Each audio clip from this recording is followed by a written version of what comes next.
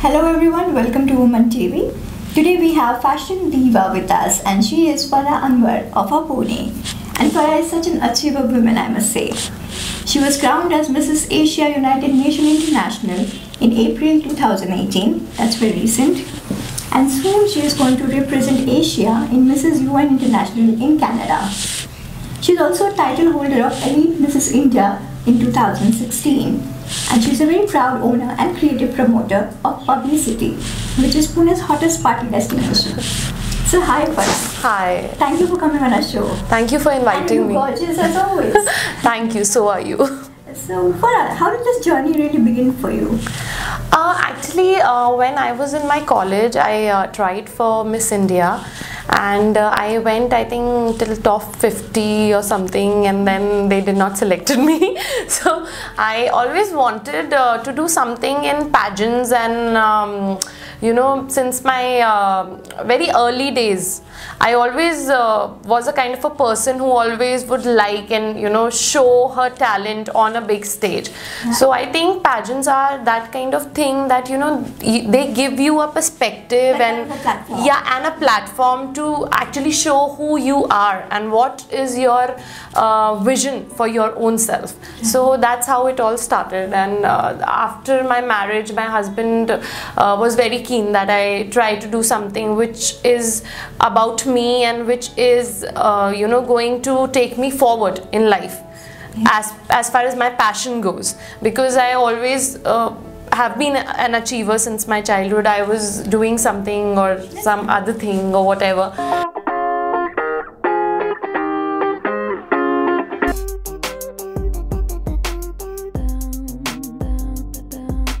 because of blessings of my uh, parents i was able to achieve what have i achieved till now. And i am also training under diva pageants and uh, my coach uh, anjana Mascarenhas was actually after my life to go for an international pageant and she was pushing me uh, after i yeah after i won uh, mrs india.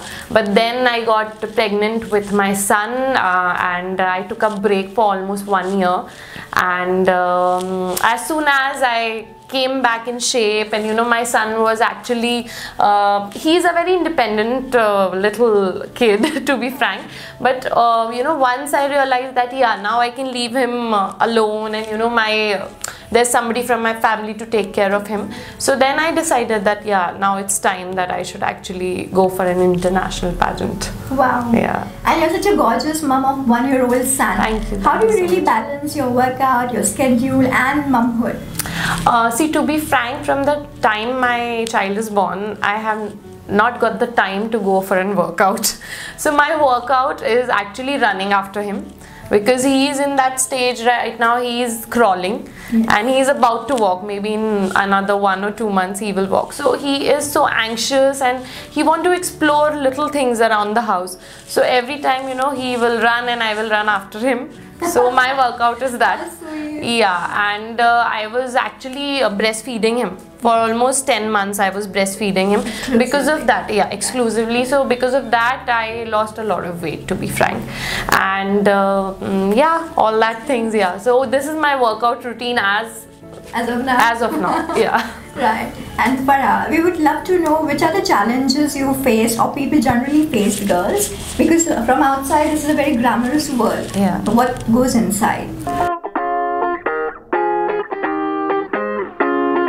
A lot of friends uh, who are more gorgeous than me, who are more talented than me, but they don't have that supporting family. So, as a woman, there are a lot of challenges when it comes to pageant because people have that stereotype that you know, if you're doing a pageant, you will be in a bikini or a swimsuit, and you know, people uh, are actually coming after you. Yeah. yeah so all that. compromise Yeah, you have to compromise or you have to do something which is derogatory which is not true because uh, i have done so many pageants and especially the female pageants which are there.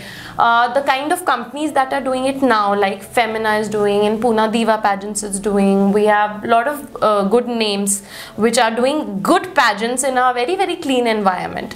So i think all the girls who are sitting at their home now it's time if you are gorgeous if you have good height if you have that intellect to go and speak your mind you know you should always come out and take part and bring an international title to india And being an ambitious woman and beautiful, of course, what's your long-term vision for yourself? Uh, see, uh, my long term vision for myself is to achieve what I want to achieve in my life. I'm very passionate, first of all, I'm very passionate to bring the crown to India because I'm getting that honor to represent my country on an international and, such a big level where I'm going to compete against so many countries. So, my short term vision as of now is to bring that crown to India, and my long term vision is to, you know, there are so many ladies, so many uh, girls in India which are not given that right kind of a platform they are very talented. Even if you go to a small village in india there are multi talented girls that are there but they are not even allowed to come out of their comfort zone. They are not allowed to come out of their houses.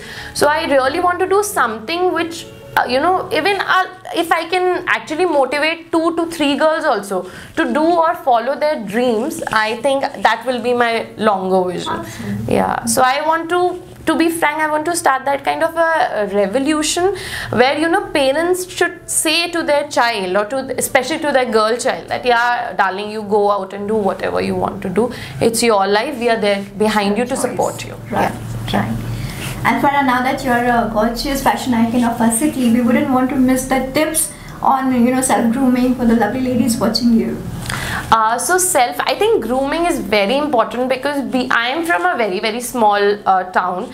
And when i actually started when i was actually out of my school um, i was not that uh, confident. So i think when you groom uh, yourself you come as a more confident person. Uh, you are able to face your fears. So grooming initial grooming is very important. Even if you do your that grooming you know yourself. Just watch a nice uh, motivational uh, TV show or some great speakers uh, that are there. Even Facebook have some am- amazing pages that you can follow and you know you can self groom yourself.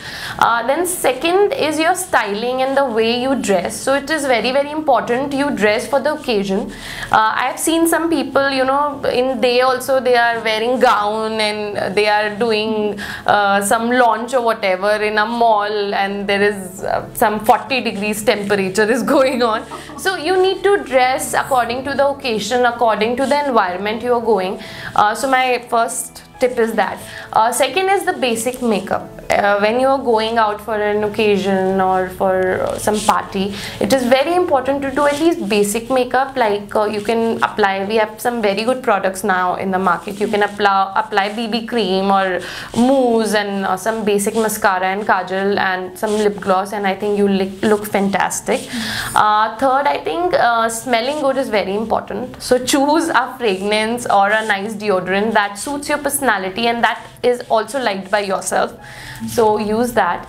And uh, fourth, I think comfortable shoes uh, because I have seen most women, especially in pageants, wearing uh, very very uncomfortable shoes and they are not even able to And walk properly. up. Yeah, and it actually shows from your um, expressions and your comfort zone.